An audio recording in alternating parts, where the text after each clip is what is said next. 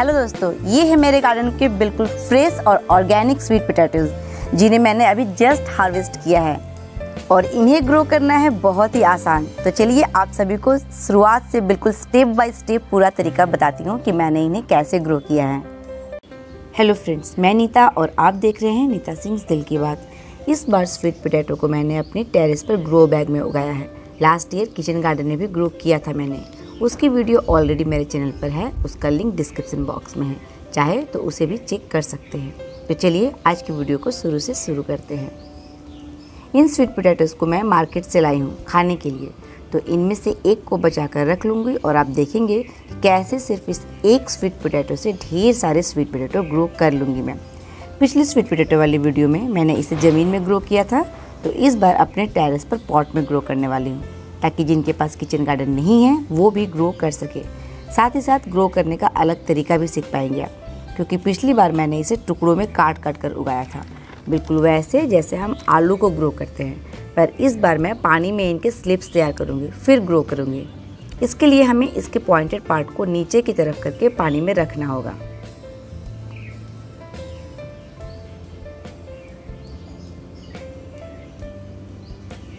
पानी का कलर देखिए। इससे ही पता चलता है कि मार्केट में हर चीज़ को केमिकल वाले रंगों से रंग कर बेचा जाता है। इसलिए घर पर उगाया हुआ हर मायने में बेहतर है।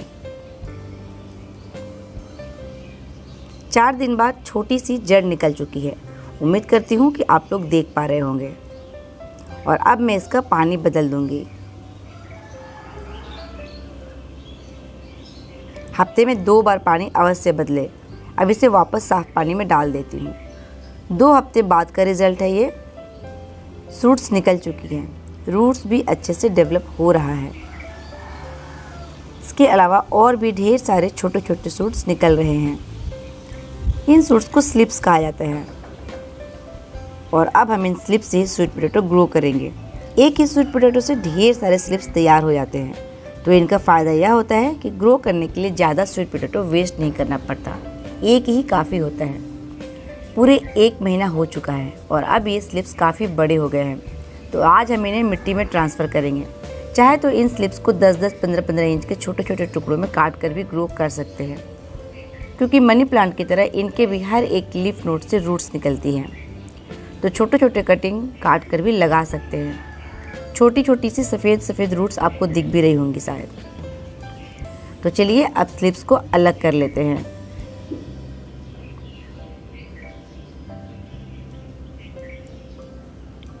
नए नए छोटे छोटे से सूट्स अभी भी निकले जा रहे हैं। रूट्स की ग्रोथ भी काफ़ी अच्छी है। स्लिप्स को अलग करते समय जड़ों का ध्यान रखें।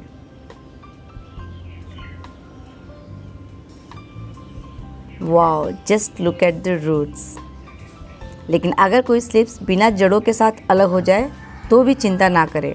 ये फिर भी ग्रो हो जाएगा। ये चावल वाला बैग है, जिससे मैंने ग्रो बैग बनाया है। अगर आप लोगों को ये फ्री का ग्रो बैग अच्छा लगे तो कमेंट में बताइएगा, मैं इस पर भी एक वीडियो बना दूँगी। मैं इसमें ही स्वीट ग्रो करने वाली हूँ।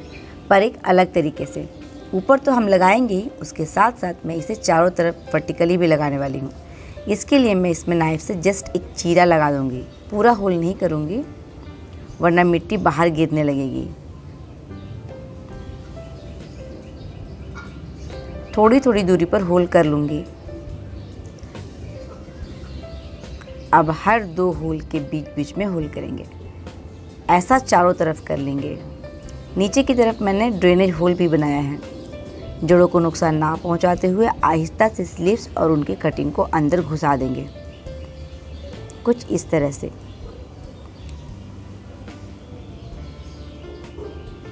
बाकी सभी को भी इसी तरह से लगा देंगे।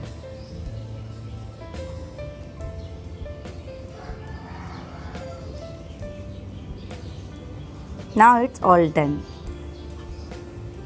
जैसा कि मैं अपने हर वीडियो में बताती हूँ कि जब भी कुछ ट्रांसप्लांट करें, उसे दो चार दिनों के लिए छाँव में रखें। पर इतने बड़े ग्रो बैग को इधर उधर करना पॉसिबल नहीं है। इसलिए मैंने इसे मैट से यहीं ढक दिया है, ताकि इस पर डायरेक्ट सनलाइट ना पड़े। पर इस बात का भी ध्यान रखना होगा कि मैट के प्रेशर से पौधे दबकर ख़राब ना हो जाए। इसलिए मैंने इसके नीचे पहले से ही पाइप रख दिया है। और इसका सारा प्रेशर इस पाइप के ऊपर ही है, मेरे प्लांट पर नहीं। मेरे पास जितने स्लिप्स थे, वो इस ग्रो बैग में चारों तरफ़ लगाने के लिए पर्याप्त नहीं थे। पर अब इसकी ग्रोथ बहुत अच्छी हो रही है तो यहाँ से कटिंग काट कर चारों तरफ़ लगा दूँगी। कुछ वाइन्स जो बहुत लंबी हो चुकी है, उन्हें कट कर लेती हूँ। कहीं से भी कट कर लीजिए, ये बहुत ईजिली ग्रो होने वाली है। जैसा कि मैं पहले ही बता चुकी हूँ कि इनके हर नोट से रूट्स निकलते हैं। इसलिए। छोटा सा रूट ऑलरेडी मौजूद है यहाँ पर। टॉप पर भी लगा दूँगी। वाइन्स को बिना कट किए भी लगा सकते हैं। छत पर चाहे ये जितना भी फैले। स्वीट पटेटो तो इस ग्रो बैग में के मिट्टी के अंदर ही बनेंगे।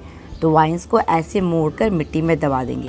तो यहाँ से भी रूट्स निकल कर मिट्टी में जाएँगी और स्वीट पोटैटो बनने अगर आपके पास एक्स्ट्रा गमले हैं तो इस ग्रो बैग के आसपास यहाँ यहाँ रख कर वाइन्स को उसमें टच करा कर रख दीजिए।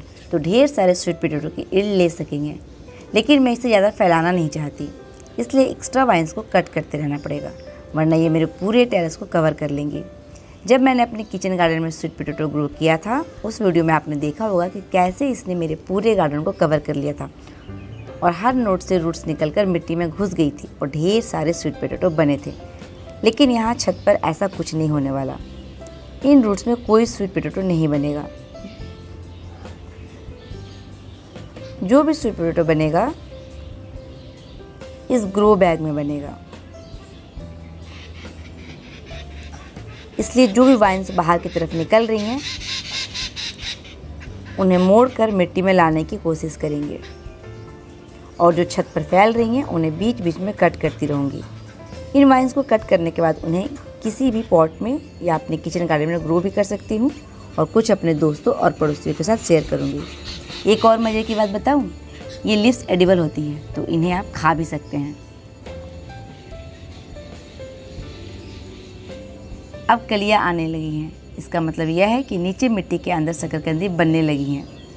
स्वीट पोटैटो के पौधे को ज़्यादा देखभाल की आवश्यकता नहीं पड़ती। मीडियम वाटरिंग करें। हाँ पर एक बात का ध्यान रखिए, अगर पॉट में लगा है तो पानी जमा न रहे। वाटरिंग के बाद सारा पानी ड्रेन आउट हो जाना चाहिए। इसके लिए हमें वेल ड्रेन सॉइल का इस्तेमाल करना होगा। इसका एक और फ़ायदा यह होगा कि मिट्टी भुरभुरी होगी, जिस कारण मिट्टी के नीचे शकरकंद अच्छे से ग्रो होंगे। अगर मिट्टी में पानी खड़ा रहा तो स्वीट पोटैटो सड़ भी सकते हैं। इससे ज़्यादा फर्टिलाइज़र की ज़रूरत भी नहीं पड़ती। देना ही चाहते हैं तो पोटेशियम और फॉस्फोरस रिच फर्टिलाइज़र दे सकते हैं। नाइट्रोजन रिच फर्टिलाइज़र ना दें, वरना और भी ज़्यादा फोलियर ग्रोथ होती रहेगी। जनरली इनका growing period six to eight month का होता है, लेकिन अलग अलग वैरायटी में यह समय कम ज़्यादा हो सकता है। कुछ किस्में तो तीन चार महीने में ही तैयार हो जाती हैं तो वहीं कुछ की हार्वेस्टिंग में दस ग्यारह महीने भी लग जाते हैं। शकरकंदी खाने में जितनी टेस्टी होती है, उतने ही खूबसूरत इनके फूल भी हैं।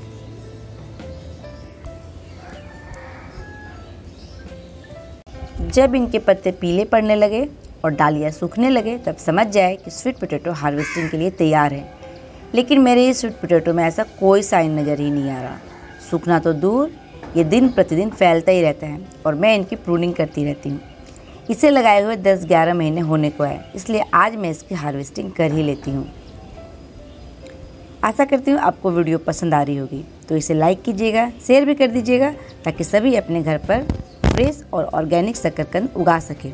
क्योंकि ये हमारे स्वास्थ्य के लिए बहुत लाभकारी होते हैं और हमारी इम्यूनिटी पावर को भी बूस्ट करते हैं। छोटू सा निकला एक। ओ माय गॉड इतना बड़ा सा, ये कुछ ज़्यादा ही बड़ा हो गया है। The giant sweet potato oh no अब तो बहुत छोटे छोटे से निकल रहे हैं। लगता है सबकी एनर्जी इस जैंट स्वीट पोटैटो ने सक कर लिया है।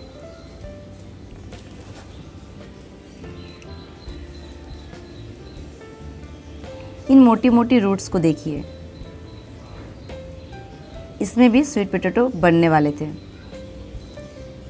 जैसा कि मैंने बताया कि ये बहुत ही अच्छा इम्यूनिटी बूस्टर है, पर आप जानकर हैरान होंगे कि ये फाइबर मिनरल एंड वाइटामिन के अच्छे स्रोत हैं। इसमें विटामिन ए बी और सी के अलावा कैल्शियम, आयरन, मैग्नीशियम भी पाया जाता है। तो देर किस बात की? अभी भी समय है। फटाफट से ग्रो कर लीजिए अपने गार्डन में। और अब तो आप जान ही गए हैं कि गार्डन ना हो तो इसे पॉट में भी उगा सकते हैं। लाइक और शेयर के साथ साथ चैनल को भी सब्सक्राइब कर लीजिएगा। यदि आप मेरे नए गार्डनर दोस्त हैं और अभी तक चैनल को सब्सक्राइब नहीं किया है तो आप मुझे इंस्टाग्राम पर भी फॉलो कर सकते हैं। वहाँ आपको मेरे गार्डन के लेटेस्ट अपडेट मिलते रहेंगे।